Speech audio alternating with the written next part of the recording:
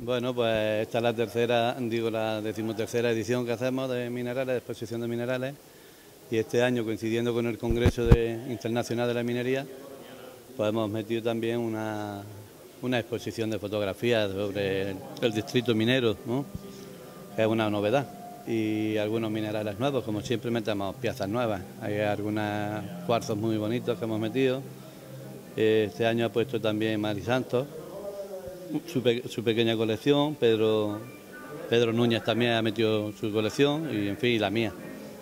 Hemos metido también algunas herramientas y la idea es que, que se quede esta exposición expuesta, a, los congresistas hasta el día 7, sin que este año podamos disfrutar unos días más de esta exposición de minerales. Las fotos son, estas se hicieron este año pasado en el concurso de fotografía de Santa Bárbara, que lo hizo el proyecto Arrayanes con los voluntarios.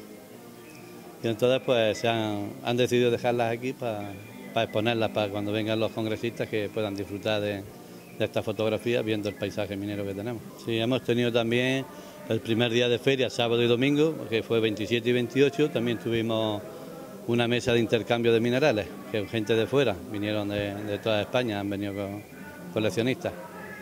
Y hemos estado un par de días pues, ahí con la gente enseñándole los minerales que daba la tierra y minerales nacionales e internacionales. Se ha podido conseguir de todo.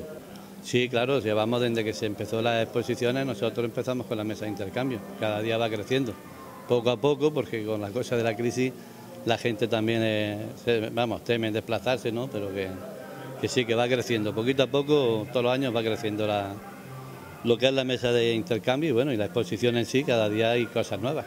Sí, la verdad que sí, que las visitas normalmente todos los años hacemos casi una media de 2.000 personas, 2.000 y algo.